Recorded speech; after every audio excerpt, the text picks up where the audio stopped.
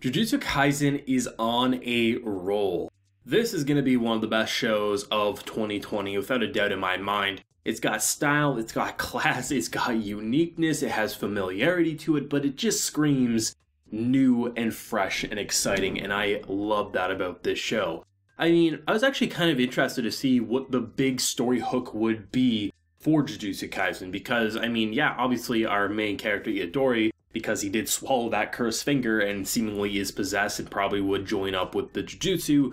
But where would they actually go with that? Was that all they had up their sleeve? And no, there was actually quite a bit more. And I love the idea that the person that we meet at the beginning of episode 1, we get to see in episode 2 in a completely different light, and you just kind of forget what happens, or you just kind of overlook it, and you're like, this guy's awesome, he's kicking ass, he's taking names. And then, of course, we get this nice little bonding moment of being like, you know, we probably should kill him, but we're not gonna kill him.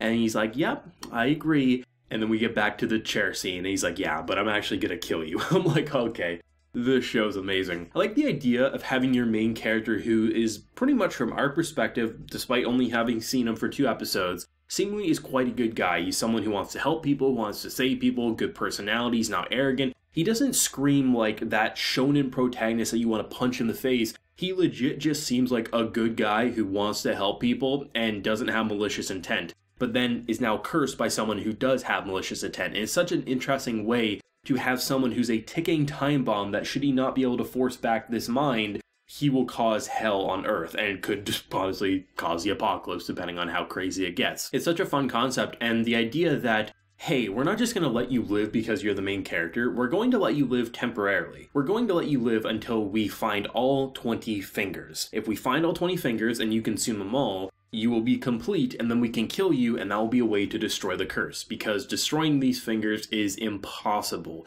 So we could kill you and that will destroy the finger inside you, but if you really are compatible, then this is basically the best of both worlds. And you can kind of look at it in multiple ways. Maybe he'll find them in a year's time. Maybe he'll find them in 30 years' time. Maybe he'll find them by the time he's an old man, right? So there's definitely potential for him to live a fulfilling life despite having a crazy voice in the side of his head. But at the same time, it's something that definitely is not an easy to answer question. What do you do? You say, I mean, it's hard to say. Like, you say, okay, well, obviously the answer is to say, yes, I will help you because you'll get to live at least longer than right now. But at the same time, there's probably that voice saying, can you run away? Can you escape? Can you just live your life the way it is? And it's such a fun concept. And because our main character, Itadori, is such a good person at the end of the day, I like that his reason for joining up, it's such an interesting way to twist what you thought was going to be cliche on its head. His grandfather said, you know, make sure you help people. That's typically like the driving force to a lot of these characters. You know, someone important to them told them to be a good person, so they're trying to be so. And the whole idea of the entrance exam in this show is one of the more original, I have to say. Not only do you get introduced to the principal, who's badass, he's looking buff as shit, but he's making dolls. And you're like, okay, this is kind of funny. And then those dolls start kicking your ass, and he asks you, why do you want to be a part of my school? And he's saying, well, someone wished for me to do it. He's like, that's bullshit. The idea of throwing it back in his face and saying, like, at this point, the way you're going, you're going to curse your grandfather. What is your actual drive? And he says, I want to do this because only I can. And that's enough of a reason to let him into a school. It's nice having those moments where you think it's going to be really typical and what you assume a show like this would be. A main character with magical abilities that only he has, and you think, okay, you know, he's going to fight for the greater good because his dying grandfather asked him but really he's the type of person he is the way he's been raised. He doesn't want to just sit by read manga hang out with his friends as he realizes people are dying when he could have done something about it. It's not simply because his grandfather wished it it's because that's who he is at his core. And like this principal said, I would have preferred you just saying because I wanted to prolong my life than that bullshit excuse he gave me right away. It's so nice to see that and just it really does say to me that the characters and story progression is going to be top notch, especially now that I know it's going to be a two cour, which is incredible because the style to the show, just visually, you look at it, it just screams something new, fresh, and exciting. The character personalities, while there is that kind of like mob psycho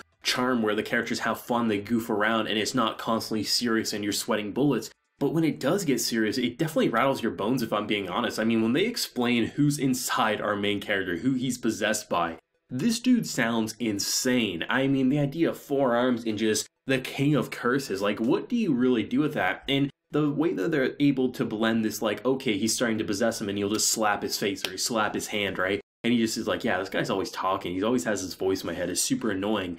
But imagine, because I assume the way they're going to go is the more fingers that he consumes, the more of a presence this guy's going to have. While he is the most compatible and it seems like he has pretty good handles over things, what if he's sleeping and he loses control? I mean, that was one of the tests to see if they would keep him alive, knocked him out, and if he comes to, I mean, that says he has full control. He clearly has control when he's awake, but what if he's asleep? And I love those little ideas, those little just rules that, like, it makes sense when you think about it. You may not be thinking about it at the moment, but when they bring it up, you're like, well, yeah, when you're asleep, you're not really as active and are you strong enough to be able to control a curse in terms of doing things like that. And while our main character definitely has adapted to this insane lifestyle easier than most, I think the reason it works so elegantly in comparison to a lot of shows where their main character is just like, oh, now I'm in this supernatural situation, I'm gonna play hero. They're usually very arrogant and you don't like their persona, but there's something about him where he doesn't infuriate you. He's just very pleasant to listen to He's honestly quite funny. He's someone who wants to be a hero not for the reward, but literally just wants to help people, and he feels very selfless, and I love that about his persona.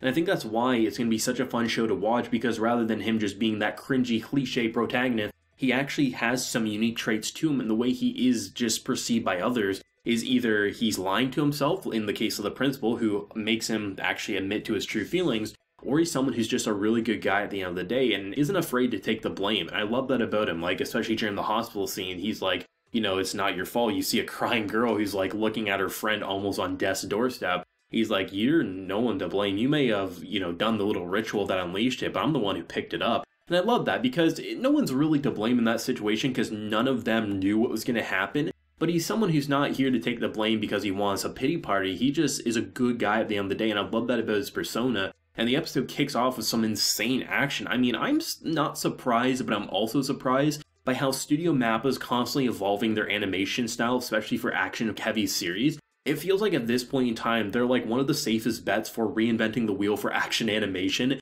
And I mean, even if you didn't like God of High School, you can't deny the fight scenes were incredible. And it seems like Jujutsu Kaisen is like even stepping the bar up even more, which is saying a hell of a lot, I have to say. They're definitely different, but I mean, they're just really delivering high quality fight scenes that just you can't look away. And the way they blend these colors, like I love the darker atmosphere when they're on the rooftop, but it doesn't feel like a hopeless situation, but more of a weird spiritual anomaly. And then just everything about it. I mean, the background art, the character designs, I'm loving the character designs. I mean, honestly, there's some of the more original I think I've seen over the past couple of anime seasons where it doesn't feel like that copy and paste action shonen style. It just feels unique. Like this could honestly be a mystery detective series by the way the characters looks if they're one tossing around magical energy. It doesn't feel like they're just trying to play by the rule set. The story and characters progression is clearly saying that, but the music production by blending so many different styles to create a very unique atmosphere, the character designs, the animation, everything about it just feels fresh and exciting. And I think that's why it's going to be a very popular show this season